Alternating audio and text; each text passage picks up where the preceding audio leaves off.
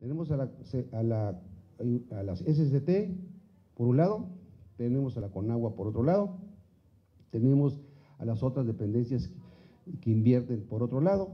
No, fijemos una Secretaría de Infraestructura para que se dedique a invertir eficaz y eficientemente y no desperdicien los recursos.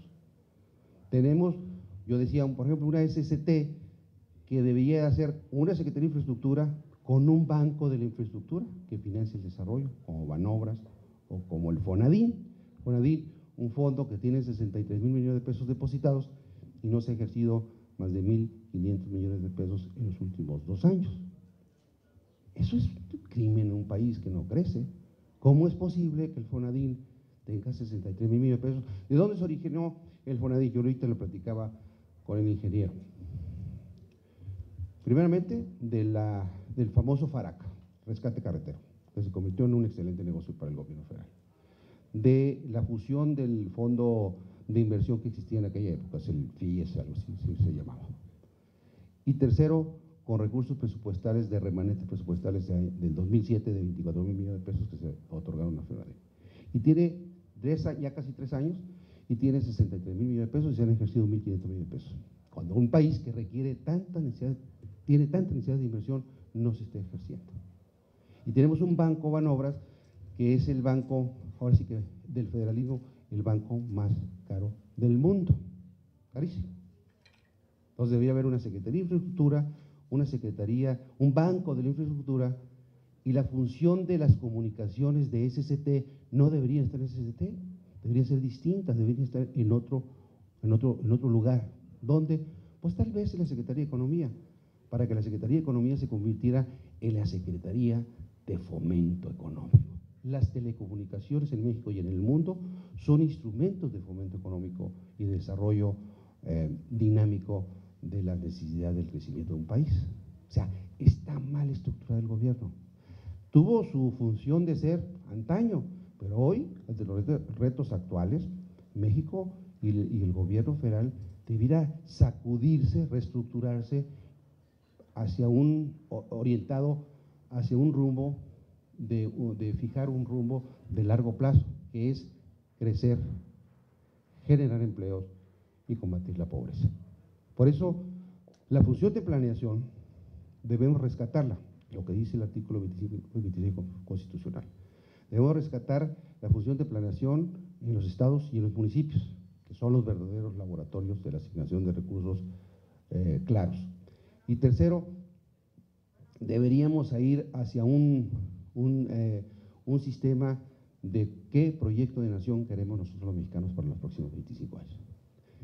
Y lo más importante es, como lo dice el título, los colegios de profesionistas y su participación en la planeación. Yo estoy convencido de que, y lo digo abiertamente como presidente del Colegio Nacional de Economistas, nosotros, los, economistas y ustedes los ingenieros y los arquitectos y todos los demás gremios de, profesionistas, debiéramos participar, activamente, activamente en los procesos de planeación del, mundo moderno.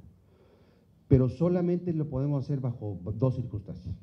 Tenemos que legislar no solo para que las leyes de profesiones, tanto las federales como las estatales, se obliguen a sí mismos a hacer una consulta obligada por parte de los gremios profesionales. Ese es el primer punto. Hay que legislar en la materia. Segundo, debemos de obligar a los procesos de certificación y actualización de los profesionistas de los diferentes gremios, precisamente para que vaya en comunión o en concordancia con la exigencia que va a establecer la norma. Hay que actualizarse y hay que certificarse.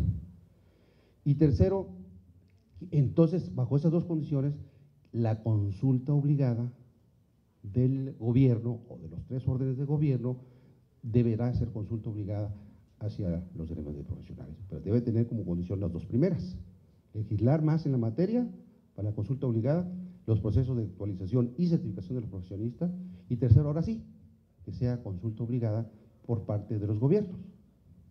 Cuando logremos esos, los gremios de economistas, el gremio de colegios de ingenieros civiles, el gremio de los arquitectos, etcétera, etcétera, podemos ahora sí establecer la viabilidad del proceso de planeación. Pero el proceso de planeación como un mecanismo, sociedad y gobierno, sociedad, nosotros, los profesionistas, agremiados en, colegios, la sociedad civil agremiada en colegios, la sociedad, civil pensante, la sociedad civil preparada, que somos nosotros, agremiada en colegios, y que vayamos con esas dos condiciones que acabo de decir a hacer los instrumentos para empujar la carreta del desarrollo que tanto requiere México. Yo creo que si logramos eso, entonces vamos a dar el salto adecuado para que el proceso de planeación nacional, regional, estatal y municipal se convierta en una verdadera realidad y podamos incidir en los procesos de desarrollo nacional. Muchas gracias.